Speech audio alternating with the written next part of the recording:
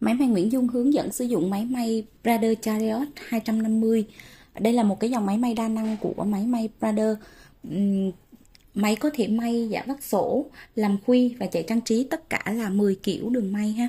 À, thì đây là một cái dòng máy rất là được nhiều khách hàng của máy may Nguyễn Dung ưa chuộng. À, thứ nhất là cái thiết kế nó rất là tinh tế, rất là xinh ha. Thứ hai là à, cái dòng máy này là một cái dòng máy may mạnh mẽ. Mình có thể may được tất cả các cái loại vải máy không có kén vải.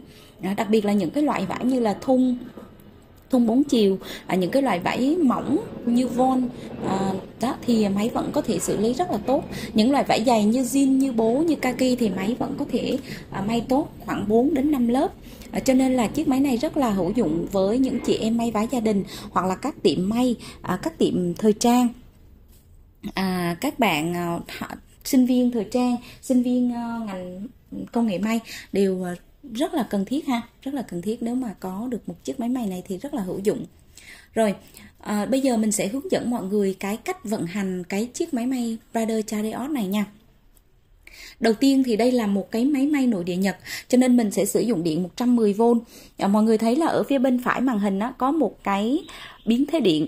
À, khi mà mình cắm máy á, thì mình sẽ rút cái dây kết nối của máy ở phía bên phải của máy á, vào cắm vào cái biến thế điện ha. Cắm vào cái biến thế điện. Sau đó mới cắm cái biến vào cái nguồn 200 200 220V nhà mình. Rồi ở phía bên phải của máy sẽ có một cái công tắc như vậy. Thì nếu mà mình may thì mình sẽ mở công tắc lên. Khi mình mở công tắc lên thì đèn nó cũng sẽ sáng rồi à, khi mua máy bên máy may Nguyễn Dung thì sẽ được tặng kèm cái biến thế điện ha. Tùy vào từng đợt có thể là biến thế điện màu vàng hoặc là màu đen màu xanh tùy đợt nha. Uhm, Đồng thời là khi mua máy ở bên máy may Nguyễn Dung thì mọi người cũng sẽ được tặng kèm một cái bộ à, phụ kiện của nó bao gồm có bộ chân vịt, chân vịt vắt sổ, chân vịt làm khuy, chân vịt trai khóa giọt nước, à, có vỉ kim nhật và có à, suốt chỉ, à, có vít có dầu máy ha. Tức là mọi người đã có đầy đủ các cái thiết bị các cái uh, phụ kiện cần thiết để sử dụng trong quá trình may vá của mình. Rồi bây giờ mình sẽ tiến hành đánh suốt ha. Đây là cái suốt máy may suốt sẽ sử dụng cho cái máy may này. Suốt này là suốt cao 5,5 mm và nó là suốt còn gọi là suốt công nghiệp á. Mình có thể sử dụng suốt nhựa suốt sắt suốt inox đều được nha. Miễn sao cái chiều cao của suốt là 5.5 mm mình sẽ để cái suốt vào cái cần đánh suốt ở đây chỉ. Cuộn chỉ thì nếu mà cuộn chỉ nhỏ mình sẽ để ở đây và đẩy cái trận chỉ này lại, đẩy cái trận của cuộn chỉ lại ha.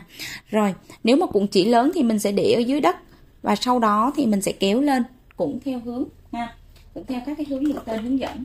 Rồi để đánh suốt thì như sau mọi người thấy nè, mình sẽ kéo chỉ theo hướng mũi tên nhé. Đứt, đây, số 1 ha, số 1 này rồi, số 2 người ta hướng dẫn mình là đi vòng qua đây này đã vòng qua cái móc này nè. Sau đó mình vòng một vòng qua cái đồng tiền đồng tiền này gọi là đồng tiền đánh suốt nha. Đó, mình vòng một vòng sao cho cái chỉ nó lọt xuống dưới cái vòng này nha. Sau đó mình sẽ kéo cái đầu của sợi chỉ. Đây, cái đầu của sợi chỉ nè. Mình chừa khoảng 10 cm mà mình quấn vào quấn vào cái suốt đang gắn ở trên cái cần đánh suốt ha. Một đầu mình tay bên trái mình giữ cố định cái sợi chỉ. Tay bên phải mình sẽ quấn cái đầu chỉ vào cái đánh suốt. Khi mình quấn cố định rồi á thì mình sẽ bật cái cần đánh suốt qua bên phải. Nên mình bấm cái nút may dừng. Đó, khi mình bấm nút may dừng thì cần đánh suốt sẽ quay. Và khi mình thấy nhu cầu đủ rồi á chỉ thuốc đủ rồi á thì mình sẽ bấm cái nút may dừng một lần nữa cần đánh suốt dừng lại.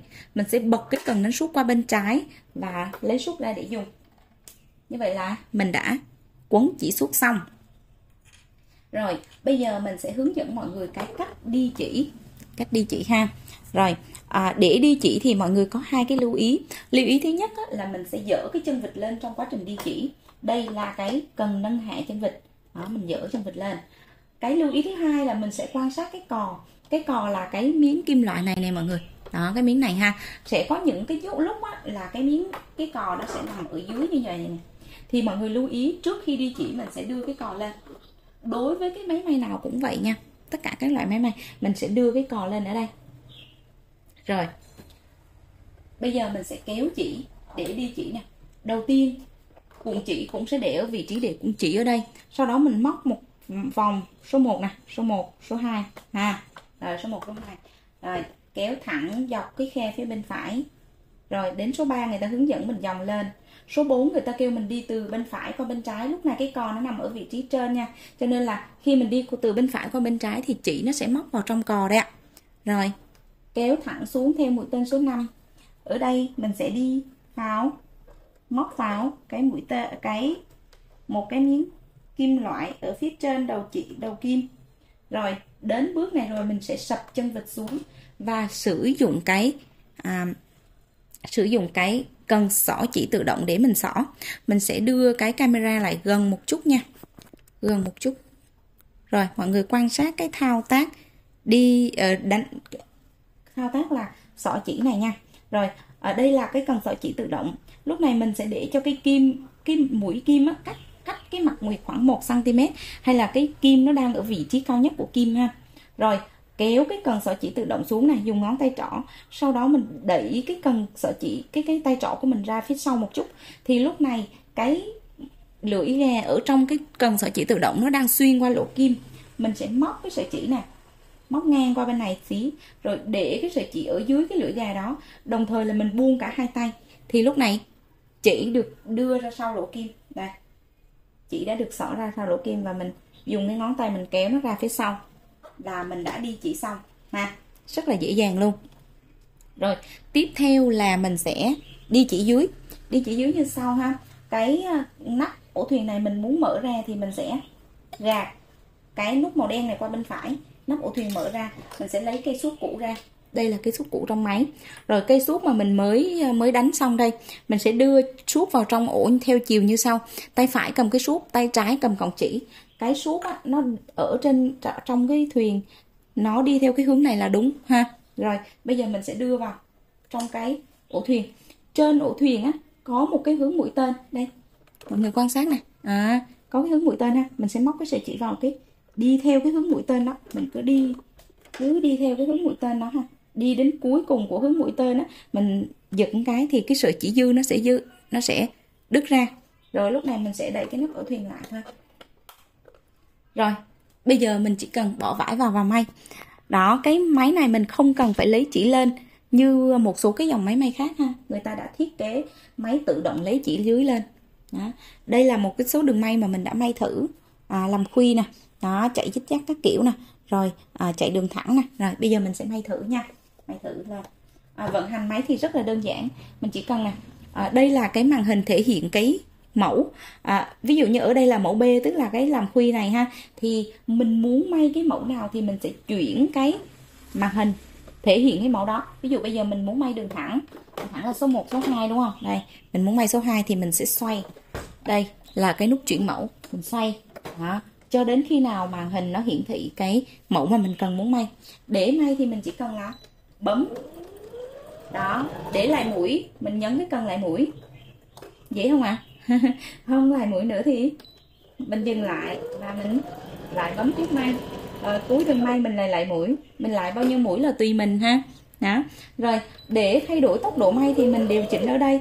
Đây là cái nút điều chỉnh tốc độ may mình điều chỉnh về phía bên trái thì tốc độ chậm. Bên phải là tốc độ nhanh dần. Đó. Để may hay dừng mình bấm cái nút này. Gọi là cái nút may dừng. Mình chỉ cầm bấm một cái rồi buông tay ra thôi. Đây ha bây giờ mình thao tác à, bây giờ bây giờ em đang muốn mày đó mình bấm một cái lại mũi. Rồi mình muốn à, lại bao nhiêu mũi thì tùy mình sau đó mình lại bấm. Đó đang ở tốc độ chậm tốc độ chậm ha. Rồi à, muốn dừng lại mình bấm nút một cái nữa. Muốn tăng tốc độ may mình gạt qua bên phải thì tốc độ may nó sẽ may. Tăng dần muốn dừng lại bấm. Rất là dễ dàng ha. À, ai cũng có thể may được. Chiếc máy này. Ừ. rồi ở phía bên phải của máy á, sẽ có một cái dao cắt chỉ. Khi mình may xong á, mình kéo cái sợi chỉ lên nó mình cắt một cái. Rất là ngọt ha là nó tự động nó đứt luôn không cần phải dùng kéo luôn ha. Nha rồi à, bây giờ mình sẽ giới thiệu các cái nút chức năng của máy. À, đây là cái bánh xe để điều chỉnh cái độ lỏng chặt của đường may. Nếu như mình muốn cái đường may chỉ trên á mà nút chặt hơn thì mình sẽ siết cái bánh xe này về cái số lớn hơn. Muốn cho nó lỏng hơn thì mình sẽ nới về cái số nhỏ hơn đó. Đây là cái bánh xe điều chỉnh cái độ thưa dày của đường may. À, mình muốn nó thưa hơn thì mình sẽ đưa nó về cái số lớn hơn. Muốn nó đường may nó dày hơn thì đưa cái về cái số nhỏ hơn. À, đây là cái nút để điều chỉnh cái tốc độ may ha mọi người đã biết rồi. Đây là cần lại mũi nút may dừng. À cần lại mũi nút may dừng và điều chỉnh tốc độ may. Rồi ở phía bên phải của máy. Đây là cái à, vô lăng để quay trục kim. Đây là cái nút chuyển mẫu. Rất là dễ ha. Rồi à, máy này mình có thể sử dụng nút bấm tay này để may hoặc là mình sử dụng bàn đạp. Nếu như ai cần bàn đạp thì mình có thể liên hệ với shop mà mình mua máy á, để mua thêm bàn đạp. Thì mình sẽ có một cái lỗ bàn đạp để mình cắm cái bàn đạp vào và may bằng bàn đạp ga. Rất là tiện ha. Như vậy là máy có thể vừa may bằng nút bấm tự động vừa may bằng bàn đạp ga được. Rồi bây giờ mình sẽ hướng dẫn mọi người thay kim ha. Ở đây là cái ốc trục kim. Mình sẽ mở cái ốc trục kim này ra. Nếu như mà nó chặt quá thì mình sẽ sử dụng cái à, vít. Một, sử dụng cái vít hoặc là cái dụng cụ để mình mở ốc. Đây mình có cái dụng cụ mở ốc như vậy ha. Rồi mình sẽ mở ốc. Rồi khi mà mình mở lỏng ra rồi thì mình sẽ lấy cái kim cụ ra. À, kim này là kim máy may gia đình ký hiệu là HA nhân 1 mình có thể à, mua ở bất kỳ chỗ nào. Sàn Lazada, Shopee, Tiki à, gõ là kim máy may gia đình là ra hết ha hoặc là ra tiệm à, bán phụ kiện may người ta bán.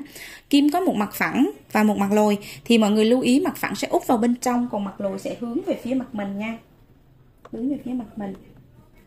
Rồi để vào cái trụ kim sau đó mình đẩy lên cao nhất và siết ốc lại cho thật chặt. Rồi đó là thay kim ha. Còn thay chân vịt thì sao? À, cái trụ chân vịt ở phía sau nó có một cái nút màu đen như vậy. Mình sẽ bấm cái nút màu đen đó thì cái chân vịt cũ nó sẽ rơi ra. Đây chân vịt cũ rơi ra. Để thay chân vịt mới vào thì mọi người lưu ý như sau. À cái trên cái chân vịt á nó sẽ có một cái thanh ngang và trên cái trục chân vịt nó có một cái rãnh. Thì mình để cho cái rãnh và cái thanh ngang này này nó trùng khớp vào nhau. Sau đó mình đẩy lên. Nó cũng sẽ tự động nó dính. Hoặc là mình có thể để cho cái trục và cái rãnh nó khớp vào nhau sau đó mình sập chân vịt xuống. Nó cũng dính vào. Rất là dễ ha. Rồi.